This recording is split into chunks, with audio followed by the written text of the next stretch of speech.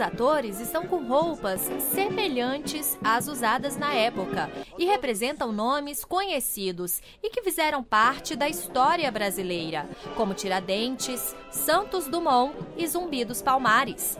Esses são alguns dos nossos heróis nacionais, homenageados no Panteão da Pátria. O monumento, que tem formato de uma pomba, foi projetado por Oscar Niemeyer e fica na Praça dos Três Poderes, em Brasília.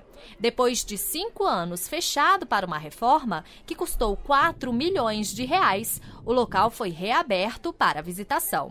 Nós temos aqui no Panteão da Pátria um, uma, um símbolo da paz.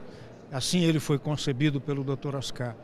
E houve obras, as obras se destinaram a recuperar o revestimento externo, essa, esse revestimento branco, tão ao gosto dele, é, e que nos encanta, né? e é, o revestimento interno, a recuperação dos vitrais de Mariane Peretti, com a reabertura, o Panteão ganha 20 novos heróis e heroínas. Pela primeira vez, duas mulheres estão na lista: a enfermeira Ana Neri, que foi voluntária na Guerra do Paraguai, e a revolucionária Anita Garibaldi. Para ser um herói ou heroína da pátria, é preciso ter a aprovação no Congresso Nacional.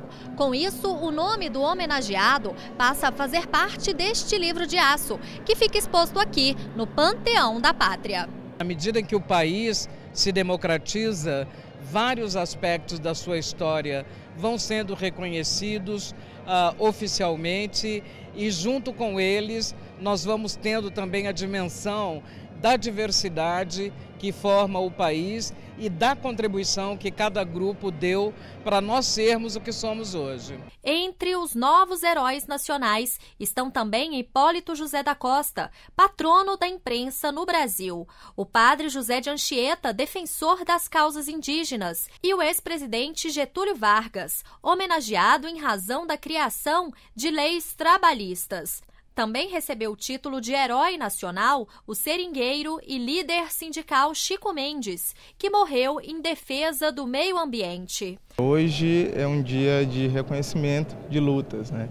A luta dos seringueiros, a luta dos ribeirinhos, a luta dos indígenas, enfim, de toda a aliança dos povos da floresta. Né? O meu pai está sendo homenageado hoje, está é, tá sendo entronizado como herói da pátria, mas essa não foi uma luta só dele